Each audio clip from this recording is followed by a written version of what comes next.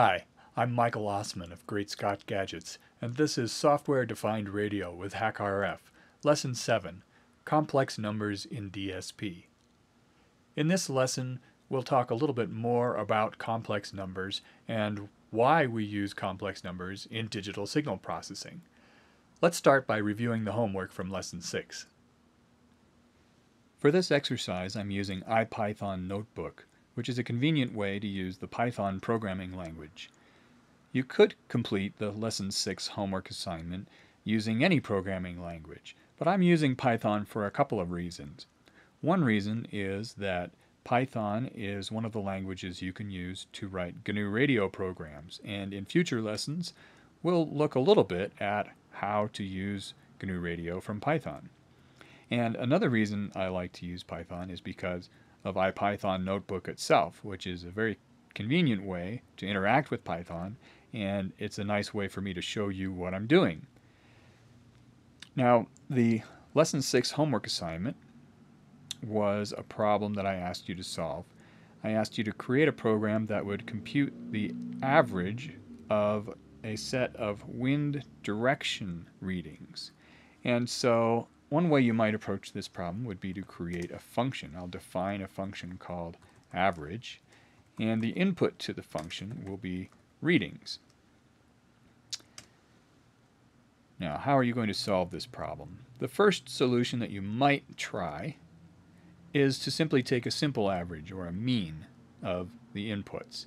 So one way to do that would be to start with a total at zero and then add to it. This is kind of a verbose way to solve this problem. I'll say for r in readings, which means I'm going to loop through every reading, no matter how many there are, and in this loop, each time I'll set r to that particular reading. And then I'll take total and add r to it. So at the end, I can return a result which is, uh, sorry, return total divided by the number of readings, or the length of readings. Now this is just a simple average. We add them all up and then divide by the number of readings. So let's see what we get when we try this. If I call this function average, I'll call it with the first list of readings that I told you to try. 12 degrees, 15 degrees, 13 degrees, 9 degrees, and 16 degrees. And the function returns 13. And that looks like a pretty good result. Now let's try the second set of readings I asked you to try. 358 degrees, 1 degree, 359 degrees, 355, and 2. And what do we get? 215. That's interesting. And I would say that's completely wrong because if you look at these numbers, they're all very close to zero or very close to 360 degrees, which is the same as zero. And then we take the average and we get this number 215. Well, 215 degrees is nowhere near zero degrees. It points almost in the opposite direction. Well, let's see. Average, let's try the third one. The third set of numbers I asked you to try was 210 degrees, 290 degrees, 10 degrees, 90, and 170 degrees. And these are kind of all over the place. And the result it gives us is 154. And off the top of my head, without doing some more math or drawing this out on a piece of paper, I can't really say how good a result that is. So we clearly have a problem here with this particular input, this particular set of inputs. And one way you might think of to solve this problem is to normalize the input so that maybe maybe instead of 358 we say negative 2 negative 2 degrees this should be the same as 358 or on the other hand maybe we could instead of we could leave that as 358 and instead of saying 1 degree we could call this 361 degrees. And then maybe that would work. Um, let's try one of those approaches. If we just put a conditional in here. If r is greater than 180, say, then we'll say, we'll subtract 360 from r. Let's see if that works. Now, if I execute the first yep, the first set of readings gives me the same result, 13. And the second set of readings gives me negative 1. Hey, that looks good. That's very close to 0. Negative 1 degrees. If you, that's, that's the same thing as 359 degrees, is right there.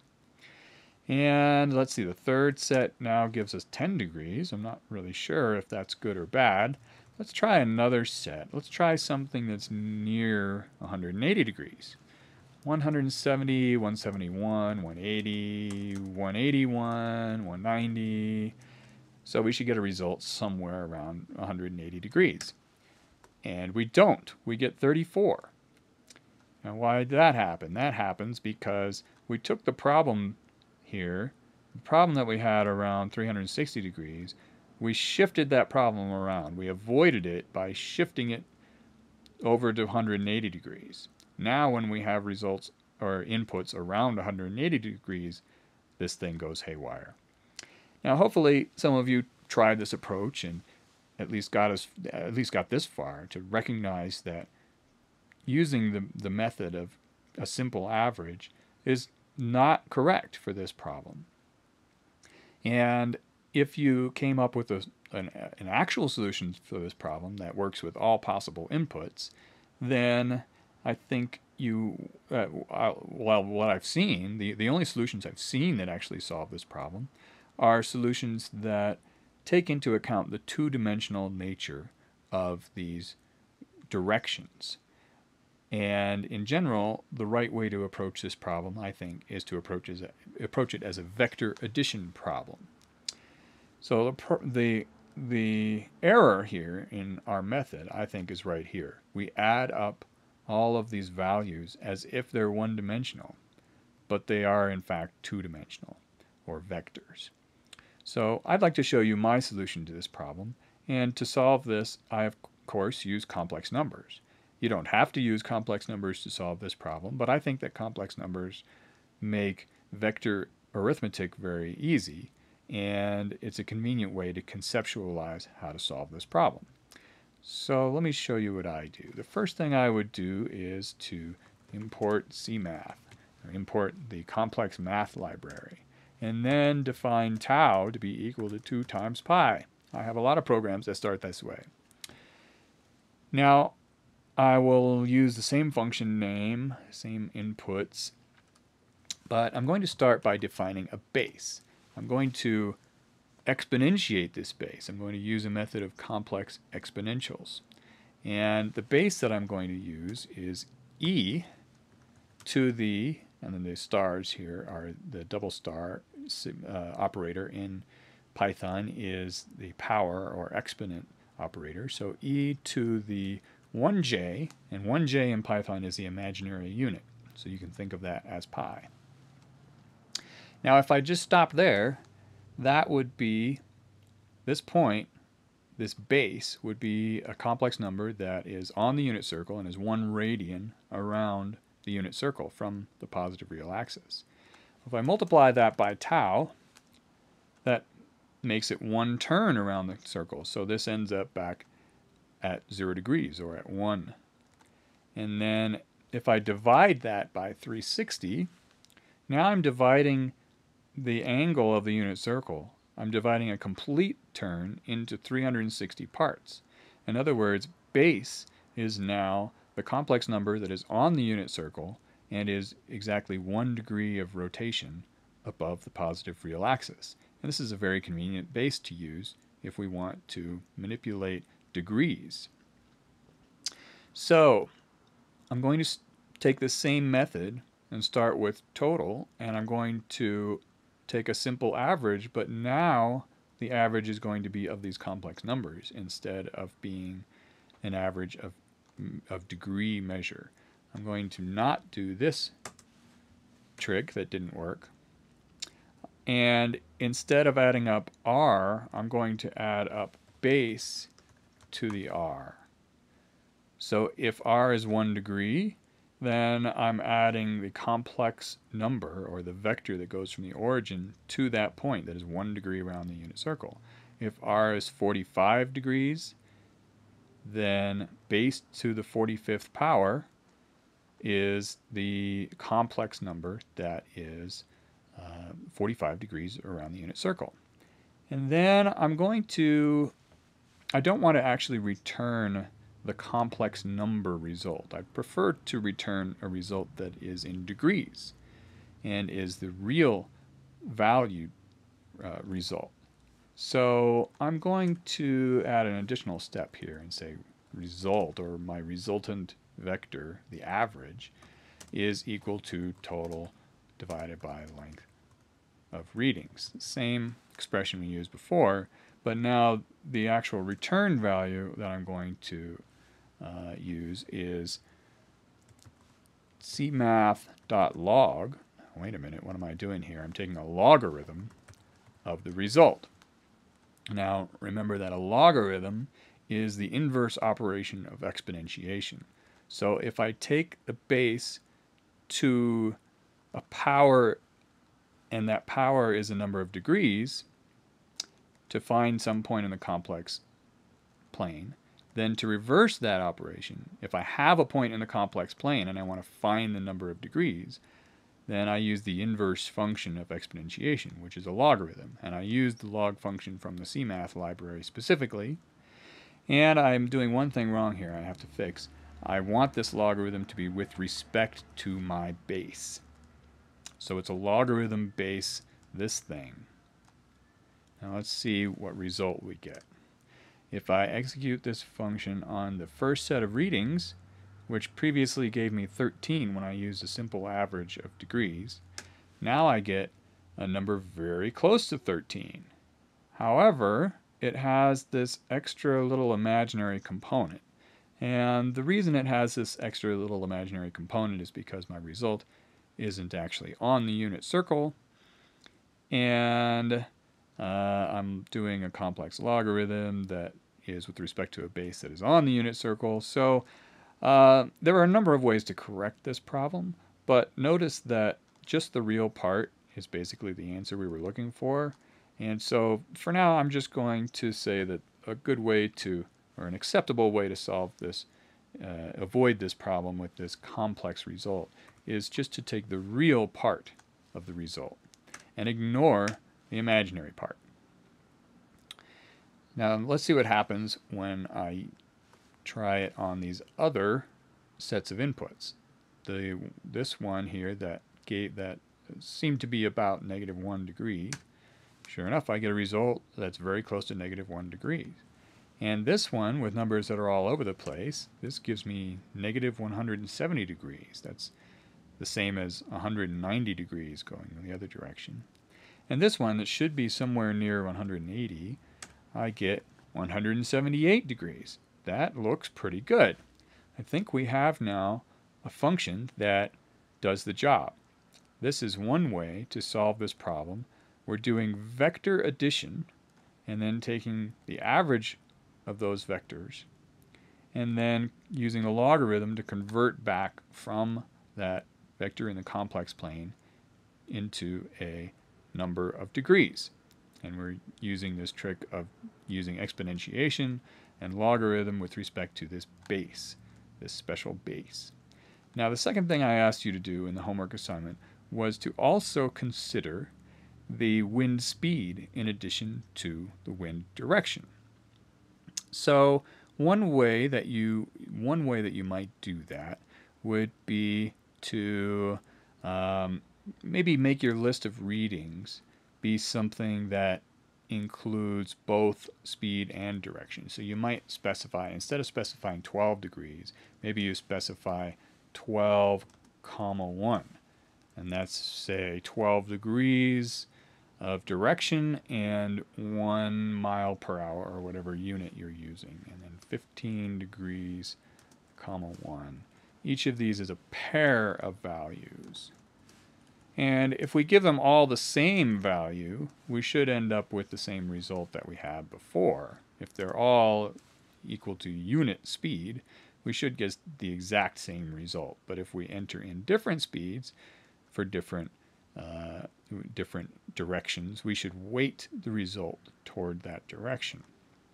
So I'm going to use basically the same approach, except here when I take a total, when I exponentiate my base, I'm going to say, instead of r, I'll say r sub 0, which is the first part. It's the zeroth index of this pair. So that's, so r0 is this 12 degrees.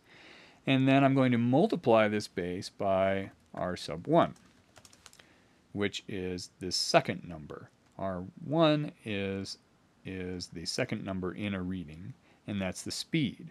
So notice what I'm doing is I'm just multiplying or scaling this number in the complex plane. I'm scaling that vector by the amount of speed. So I'm increasing its distance from the origin if the speed is high, or I'm reducing its distance the, from the origin if this number is low. And then I'm going to use the same approach, take a simple average of these vectors, and, and they're two-dimensional values, not, not uh, one-dimensional values, and see what we get. So theoretically, this should give me the exact same result that it did before, and it did. And if we weight it, let's say it was we had a big gust of wind when it was 9 degrees. Let's see what happens. Ah, look at that. My average reduced closer to 9. This seems to work. Now, interestingly, I'm only returning degree uh, or angle information here. But what happens if we also return the uh, the the speed or the average speed what I'm going to do is take the absolute value of the result. That is its distance from the origin.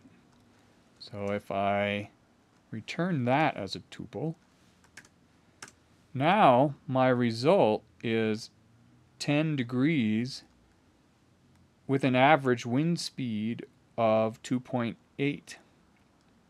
If I set this back to 1, and all of them were about 1, then my average should be near 1. It is very close to 1. Now let's see what happens. I'm going to try these other values. And I think I'll skip ahead in the video here so you don't have to watch me type all of these. Now let's try this new function on all these other inputs. If I take this one, I still get a direction very close to negative 1, and I get an average speed very close to 1. That makes sense. Now I'll try this third set of inputs. Now I get, I still get the same average direction of negative 170 degrees, but now look at the average speed. The average speed is very small. It's only about one-tenth of a, of a unit of speed. And if you think about what's going on here, what we're doing is we're taking an average of a, of a bunch of vectors that are going all different directions. And it turns out that their result is pretty close to the origin, which means that this average direction of negative 170 degrees is a weak result. It these uh, and so this actual output of speed or the magnitude of the average wind direction and speed actually gives us some indication of how much overall wind motion there's been or how much average motion of air there's been. And since it's moved a lot in different directions, those different directions have canceled each other out, and we end up with a very small average or a weak result. Now, maybe it was a really gusty day. Maybe, maybe this was three miles or maybe 15 miles per hour that direction and 10 miles per hour this direction and one mile per hour in that direction and maybe three miles per hour in that direction and uh, six miles per hour in that direction. Now in this case, we end up with a different result vector that is negative 138 degrees. It's a little bit of a different direction and a much higher uh, average here because we have more speed going roughly the same direction and then weaker speeds when we're going different directions. So this whole approach of doing vector addition gives us a really nice indication of perhaps a, a confidence value or an, an average air motion in this case. Now let's try it on this last set of values. I end up with a very similar result, 178 degrees, and the average speed of 1, unless I tweak some of these, then things change a little bit. Now, I'd like to plot this a little bit and, and just visualize so you can kind of see what's going on here. And I'm going to use uh, matplotlib. And I'll just type a little bit and skip the video ahead so you don't have to watch me type all this.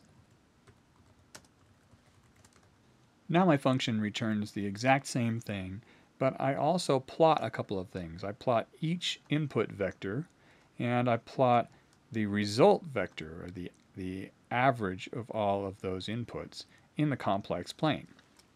Let me show you what happens when I try it on this first set of readings.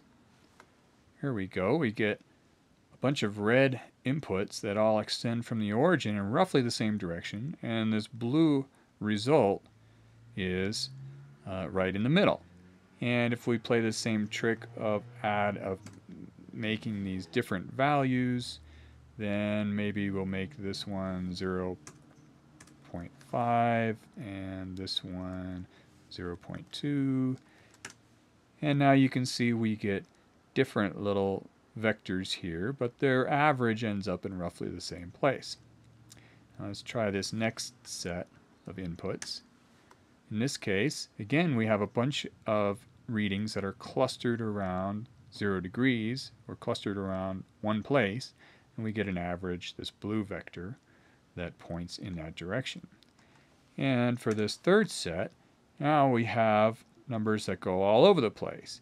And you can see I'm going way off the screen here because I'm using some numbers that are uh, much larger than uh, some wind speed numbers that are much larger than our original uh, ones. But let me just try kind of putting these all into scale here. Now you can see if these different wind speeds, if these different wind measurements had different speeds, then the preponderance of the wind, or the average air motion, is in this direction of the blue vector here. But if these all have the same speeds, or if we have no speed information, we just have to assume that they're all the same, then we end up here with all of these input vectors at the same uh, distance from the origin, but the output vector is very, very weak and in a slightly different direction. And if we take all these numbers that are near 180 degrees, we should see, yes, they all point to the left. And if I give them all the same magnitude or the same distance from the origin or the same wind speed, then this is what it looks like. And we get this blue vector resultant right in the middle.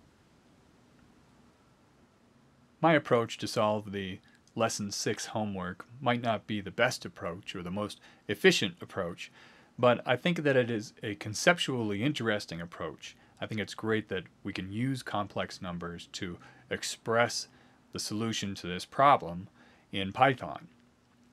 Now, I'd like to talk about why we use complex numbers in digital signal processing. Hopefully, you've gotten a little bit of a taste of how complex numbers can be useful, but you may still be wondering why we use them so much in digital signal processing. You've seen those blue inputs and outputs on blocks in GNU Radio Companion on so many blocks.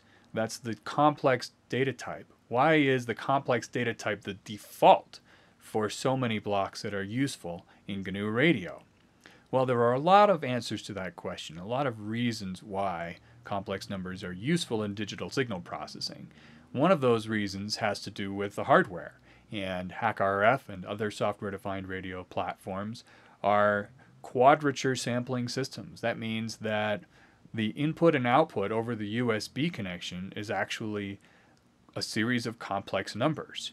So that's something that we'll talk about in the future the architecture of the hardware and why quadrature sampling is useful.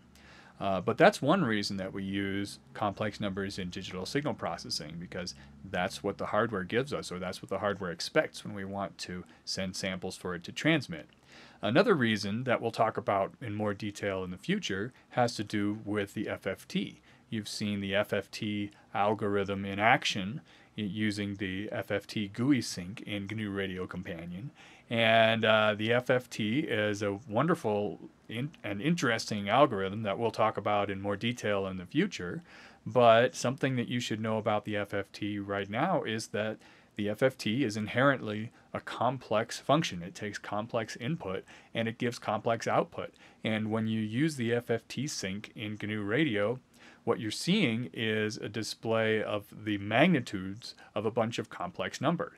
We're throwing out the direction information and just showing the magnitudes. And for the rest of this lesson, what I'd like to talk about is some specific examples of modulation, how we encode information on radio signals, and how we can decode that information by demodulating radio signals.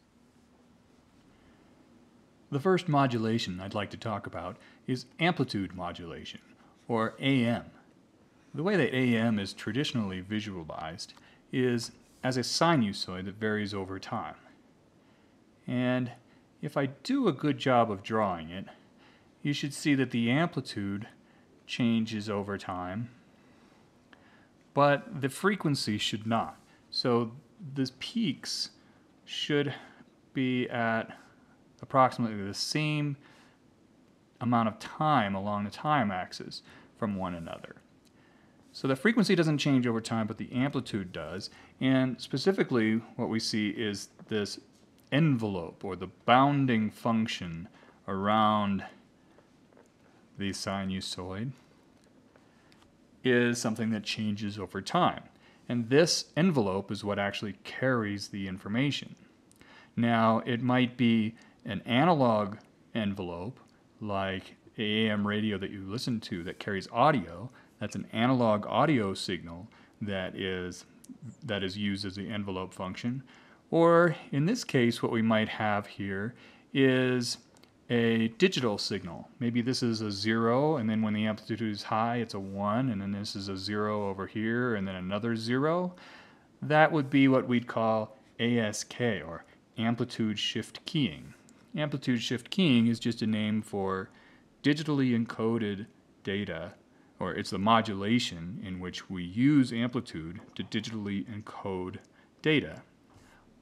Now, remember that in a software defined radio signal, what you actually receive in software is a series of samples at discrete points in time. And so think of every little red X here as being a number. Sometimes it's a positive number, and sometimes it's a negative number. But what we get if we're trying to build a software defined radio receiver is a series of numbers over time. Now, what I want you to imagine for a moment is that you're designing a software defined radio receiver and you receive this list of numbers, this sequence of red X's. How would you recover the information? How would you demodulate this sequence of red X's to reproduce the envelope function and determine whether a 0 or a 1 was sent at any particular point in time? Think about that for a moment. Can you propose an algorithm that you could use to take this list of numbers and turn it into the data that were originally transmitted? One thing you might think of is to rectify the signal. And a way that we do that in software is by taking the absolute value. So the positive values are unchanged, but the negative values are mirrored across the time axis and become positive values. This is an absolute value function where we just take the magnitude of each sample and take it as a positive number every time instead of a negative number. Now this is one way to rectify the signal, and you may have heard the term rectification uh, from analog electronics, where people might use a diode, for example, uh, to rectify a signal, instead of here in the digital domain, where we might use something like an absolute value function. So that would be a rectified signal. However, we still have this problem where what if we look just at this sample right here? Well, it looks like zero, but is the amplitude zero at that point? No, it's not. What we really want is the envelope, not that particular zero value. That zero crossing might mess us up. So what we really need to do then is to take a rolling average over time, an average of these samples, so that the average over time is going to look something more, more like this envelope curve. But in order to do that, we have to average several samples in a row, several of these dark blue x's in a row in order to produce one x of average. So how many samples in a row do we have to compute this average over? Well, in this case, it looks like we might have to compute it over at least four or five samples, but it all depends on your sample rate and the frequency of the signal, the carrier frequency we call it, and the ratio between your sample rate and the carrier frequency. If the sample rate is very high compared to your carrier frequency, you might have to do this averaging over a much larger number of samples, maybe tens of samples or hundreds of samples or even thousands of samples. And that is a lot of CPU power that you need just to produce one output sample that tells you that we have a 1 that was transmitted instead of a 0 that was transmitted. It's a whole lot of processing.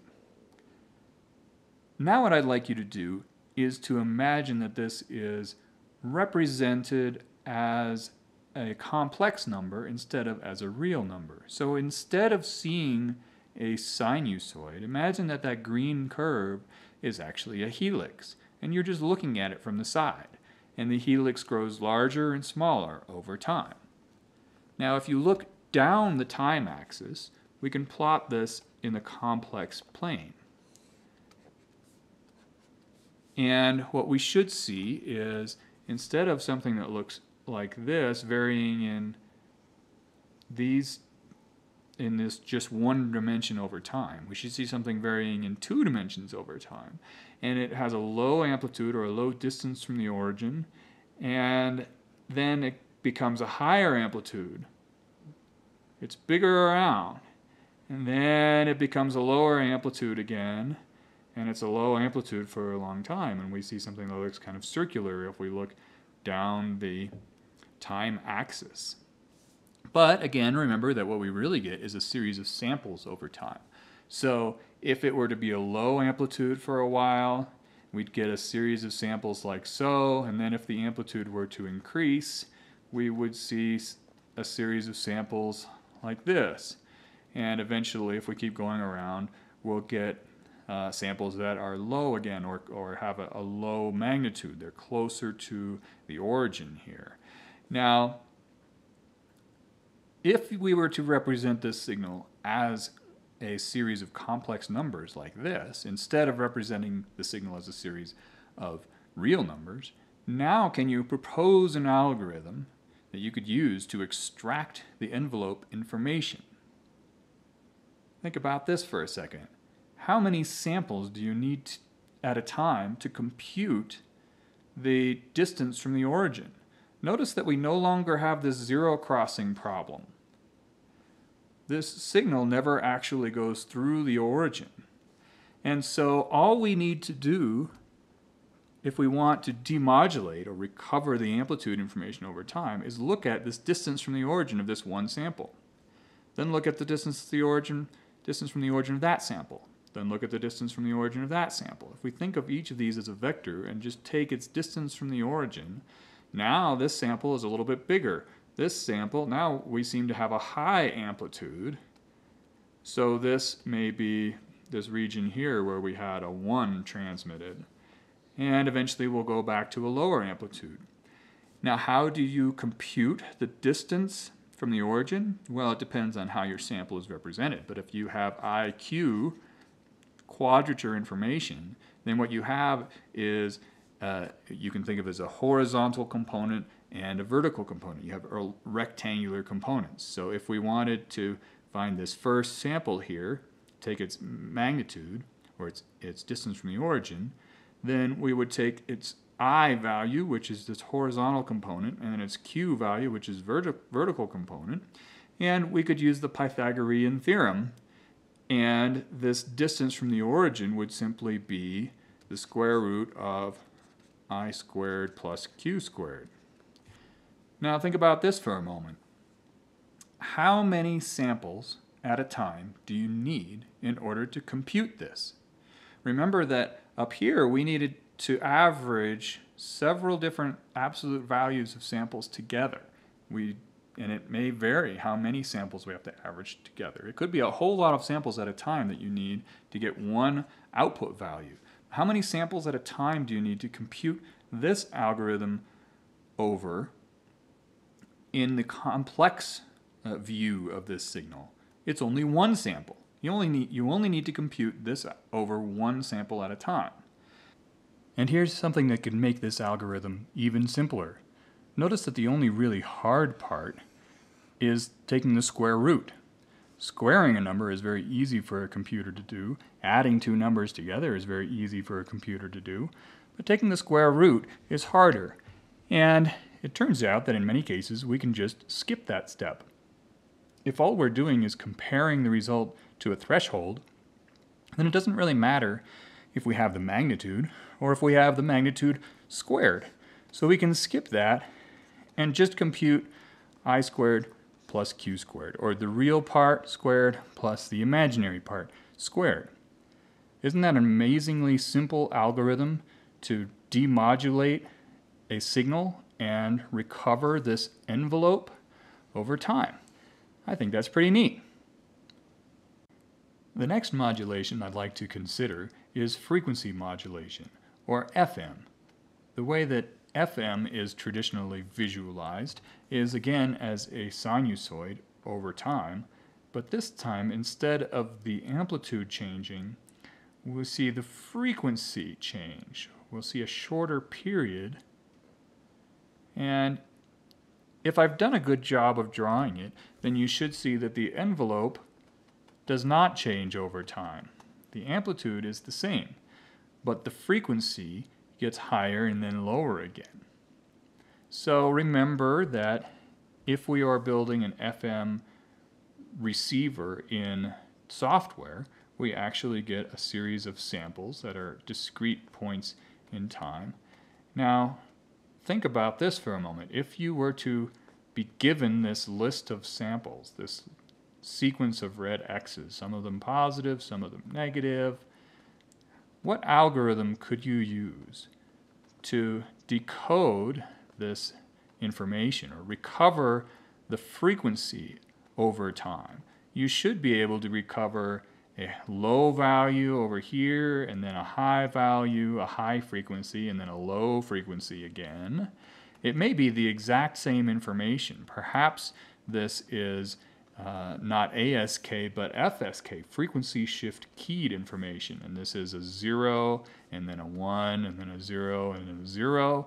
It could be the same exact, the same exact information, just using a different modulation to encode that information onto this carrier wave. So you're given this series of red X's. Can you propose an algorithm that you could use to decode this information to extract the instantaneous frequency over time.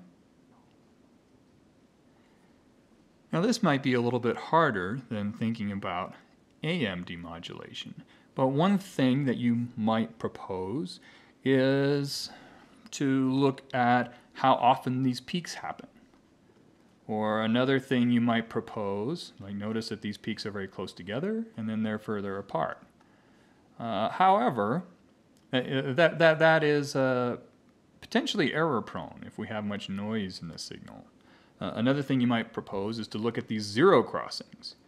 How far apart are the zero crossings? They're closer together and then they're further apart. Uh, but again, things might be error prone. What if you have a little bit of noise in your signal? There's a, each of these samples is randomly moved up and down a little bit. You might have some extra little zero crossing somewhere that could throw things off. So you have to do some kind of smoothing over time. You have to make sure that your signal is normalized so that you can, uh, like if you're looking at zero crossings, you need to make sure that your signal actually crosses zero and doesn't do something like this, where it never crosses zero or it just crosses zero on rare occasions. Uh, there's a bunch of work that you have to do, and every algorithm that I can think of that would do this for a real valued signal like this, um, w- without thinking of it as a complex number, I think would have to compute something over quite a few samples at a time, similar to the problem we had with an AM demodulator. And the amount of samples that you have to compute over at the same time is uh, dependent on a number of factors that aren't entirely in your control, perhaps. So, again, you might have to compute over tens or hundreds or more samples at a time just to get one output value, just to determine whether or not this is a 1 here versus a 0 over here. So, now I'd like you to think of this as a complex valued system. And so instead of seeing a sinusoid, imagine that this is a helix and you're just looking at the helix. This green curve is a helix that wraps around the time axis. So if we were to look down the time axis and look at our complex plane, we should see this curve does something like this. It goes around slowly and then around faster and then slowly again. If I were good at drawing, it would pretty much just look like a circle.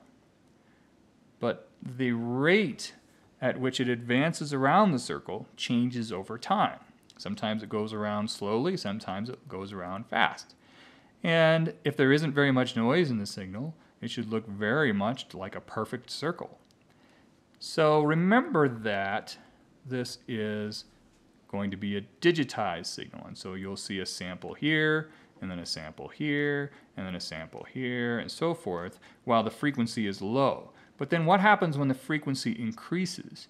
We'll see the next sample here, and then here, and then here. Notice that we move around the unit circle faster, or around the origin faster. Uh, from sample to sample, the angle increases.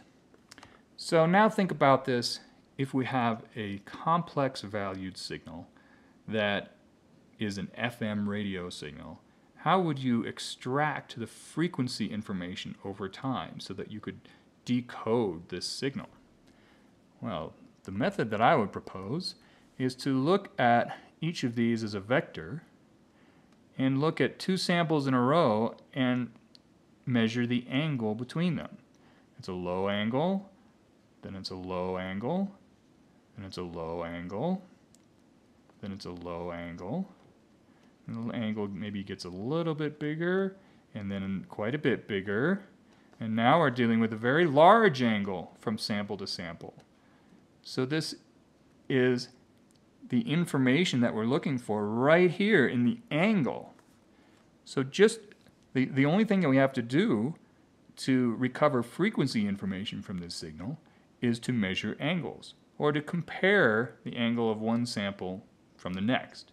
So one way you might do this is to take the angle of each sample with respect to the positive real axis here, this angle, and then take the next angle from the positive real axis and subtract uh, one from the other.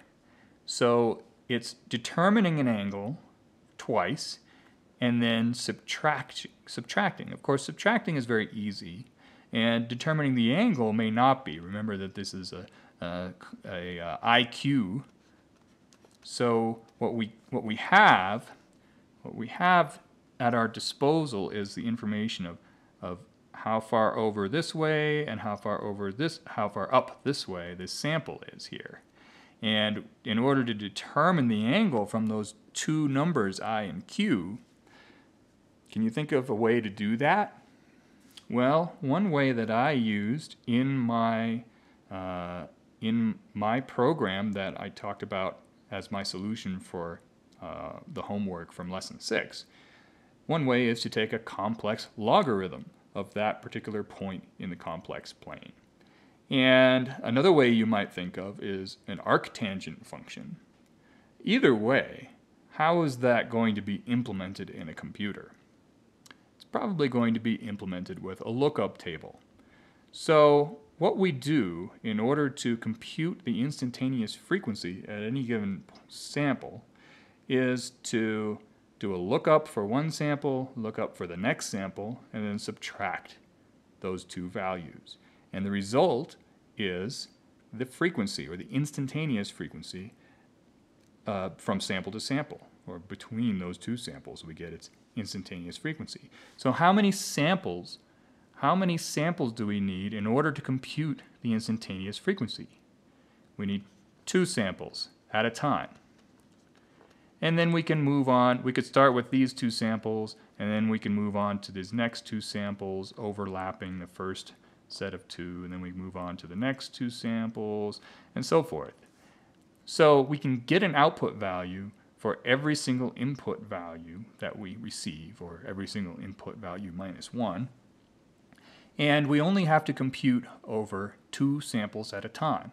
It doesn't matter what the carrier frequency is, it doesn't matter what our sample rate is, it doesn't matter uh, how much uh, noise there is. Well, it matters a little bit, but uh, it's not going to throw off our algorithm as much as, say, spurious zero crossings would up here. So we have what I think is a much simpler algorithm and something that can be computed very easily and very efficiently by a general purpose computer. The homework for this lesson is listed at greatscottgadgets.com/sdr under lesson 7. And what I'd like you to do is to look for a couple of different blocks in GNU Radio Companion that do the exact algorithms that we talked about in this lesson. I hope I'll see you next time for lesson 8.